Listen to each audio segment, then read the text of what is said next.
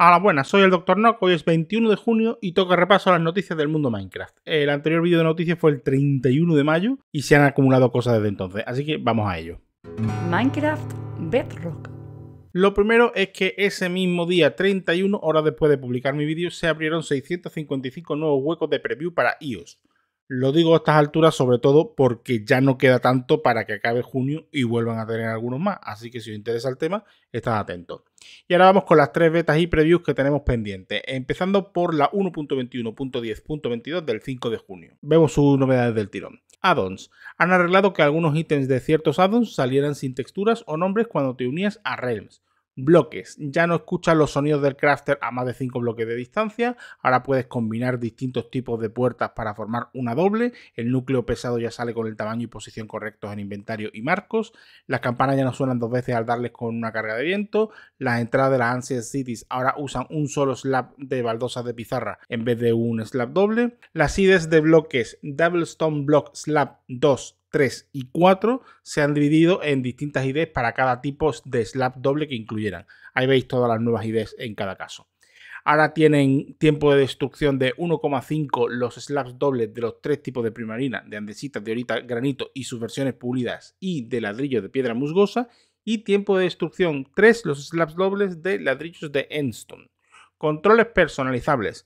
Las zonas seguras a derecha e izquierda ahora se ignoran al personalizarlos y los botones se pueden deslizar completamente a la derecha al hacerlo en iOS.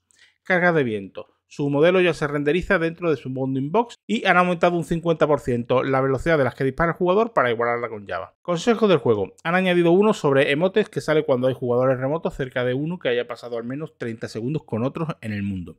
Gameplay. Ya no recibe daño en las pantallas de cargar mundo o de cambiar de dimensión y los jugadores ya no se tumban por un momento al moverse hacia una cama con un hueco de un bloque y medio encima. General, han ajustado el cálculo de la posición al desmontar para alinearse mejor con vehículos en movimiento, así que ahora habrá diferencias menores al desmontar vehículos rápidos. Ítems. Ahora el nombre de tridentes, maza y núcleos pesados salen magenta porque se consideran ítems épicos.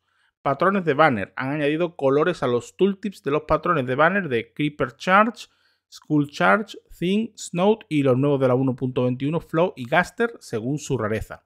Proyectiles. La carga de viento del Breeze ya no activa ni desactiva bloques con la opción Mob Griffin desactivada. Realms. Ya se puede volver a crear un nuevo Realm con el botón de Realm gratis en Beta Preview disponible de la pestaña de mundos. Y ahora los jugadores pueden añadir más contexto e información al denunciar a otro. Estabilidad y rendimiento. Han arreglado un crash en dispositivos de Amazon. Interfaz, ya no sale un texto incorrecto en la pantalla de muerte si estabas en modo hardcore con pantalla dividida. Paridad, los ahogados ahora spawnean en ríos individualmente en vez de en grupos de dos y pueden spawnear en acuíferos de las Dripstone Caves.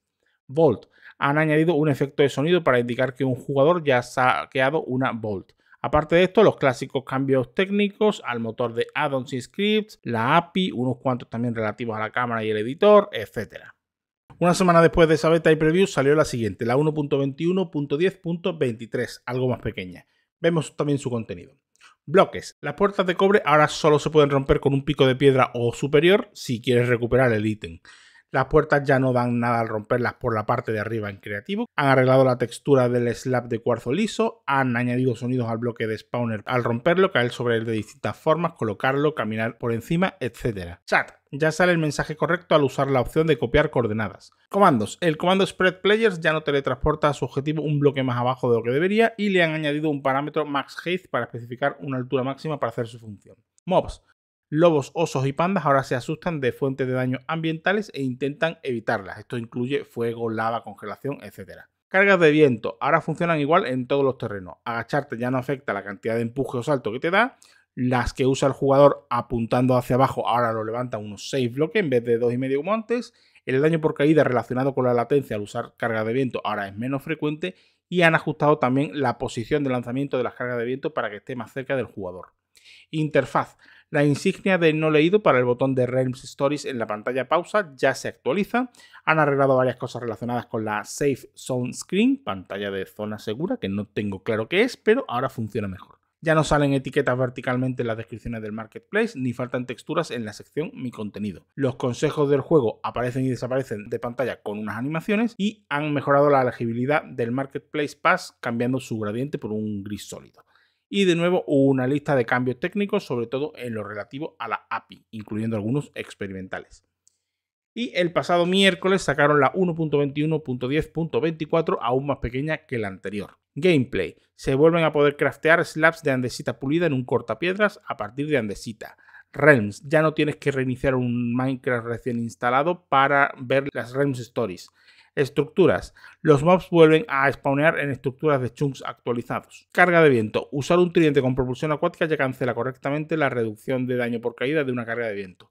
Y en los cambios técnicos han arreglado un problema con algunos componentes de ítems que no funcionaban para jugadores remotos. Ya está. Con la salida oficial de la 1.21 de hace una semana y algo, varios me habéis preguntado si en Bedrock incluía el modo hardcore. Aquí le preguntan a Josh precisamente cuándo estará disponible y él comenta que aún no han perfeccionado este modo, así que siendo una característica solo de betas y previews. También enlaza a un post con más información de esta característica en Bedrock, que os dejo en la descripción por si queréis echarle un ojo.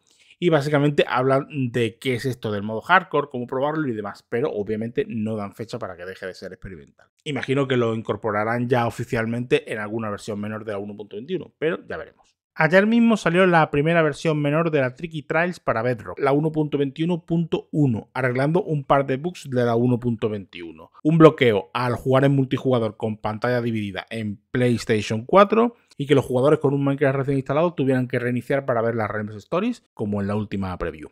En el post oficial sobre esta versión hablan también de la llegada de las previews a PlayStation 5, que hasta ahora, y si no lo he entendido mal, no tenía versión propia del juego, aunque sí podía jugar a la versión de PS4. La cosa es que ya han sacado la primera preview de la Tricky Trials nativa para PS5, a la que podrás jugar si ya tenías la versión de PS4. Para ello tienes que ir a configuración, preview, pero ya dicen que es una versión inicial y que tendrá bugs. Ha publicado también otro artículo con más información de esta versión de Minecraft para PS5 y ahí cuentan que hacen una versión específica para esta consola para que el juego vaya mejor en ella. De momento, desde esta preview solo se puede jugar multijugador con gente de PS4 y PS5, excepto en Realms, que ahí sí puedes jugar con más gente si tienes un Realm de previews. Y obviamente esta versión de PS5 no funciona en la 4 y tampoco tienes acceso al marketplace. Minecraft Java. Curiosamente, hoy en Java la cosa va de mods. Empezamos por Optifine, que últimamente ha estado bastante parado. El 31 de mayo, porque siempre salen cosas después de yo publicar vídeos de noticias, anunciaron en Twitter que el desarrollo de la versión para la 1.20.6 iba por el 50%. Y explicaron que el progreso era lento porque el desarrollador había estado haciendo algunos cambios internos a la forma en que se actualizaba este mod. El 4 de junio iba por el 80% y compartieron esta imagen usando shaders. Y un par de días después sacaron la primera y de momento única preview. Esta no es compatible con Forge y según dicen está terminada al 90%, aunque siguen arreglando bugs. De esa versión para el 1.20.6 no han dicho nada más desde entonces, pero el día 13, con la salida de la 1.21, dijeron que la de esa versión estaba al 20% y ahora ya van por el 40%. De todas formas, si queréis jugar a la Tricky Trials con Optifine sí o sí, en la descripción os dejo una web de la que creo que ya hablé en otra ocasión, donde tienen una versión para la 1.21. No es oficial porque no la ha hecho el desarrollador de Optifine, sino un tal AdminCat, pero sí tiene permiso de él para hacerlo. Así que ahí tenéis una opción.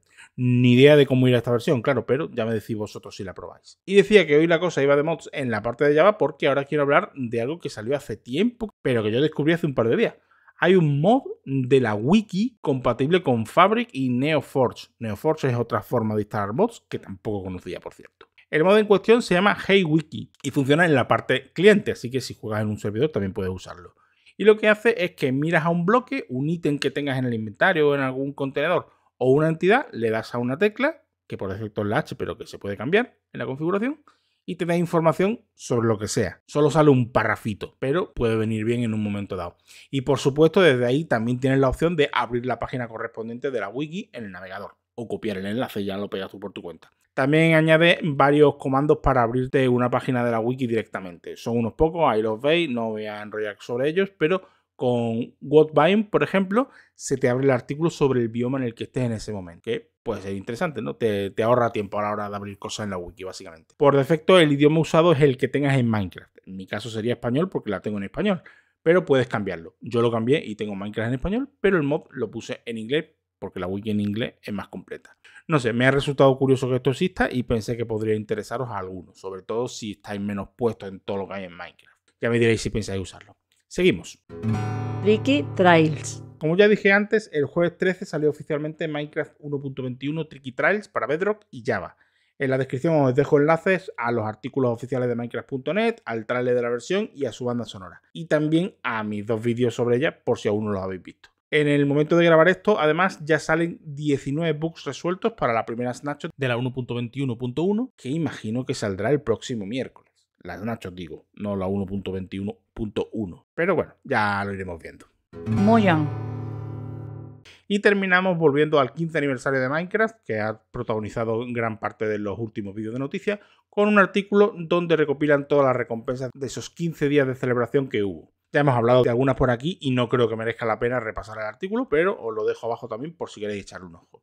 Además, del 3 al 7 de junio publicaron cuatro vídeos en el canal oficial de Minecraft en YouTube repasando esos 15 años de Mojang y del juego. Yo de momento he visto tres de ellos y tengo ya bastante avanzado el guion sobre esta parte, pero me está quedando bastante largo, así que mejor hablo de esto en otro vídeo, que espero publicar pues seguramente el lunes y si no el martes. De todas formas, también os dejo enlaces en la descripción. Y nada más por hoy. Mil gracias por ver el vídeo. Deja un like si te ha gustado y suscríbete si eres nuevo para no perderte los próximos, como ese repasando los 15 años de Minecraft o el de la próxima Snapchat. También puedes seguirme en Twitter o apoyar el canal en Patreon. Enlace a todo en la descripción. Nos vemos la próxima. Adiós.